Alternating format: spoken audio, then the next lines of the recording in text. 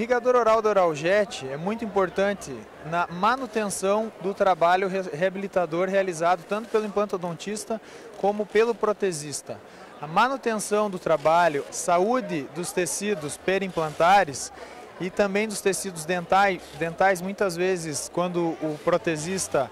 reabilita o paciente com trabalhos protéticos, com próteses fixas, essa manutenção de todos os tecidos, principalmente a gengiva e o tecido ósseo, ela é mantida com o uso desses irrigadores orais, porque facilita a higienização por meio de um jato de água e consegue chegar aonde a escova dental não consegue chegar.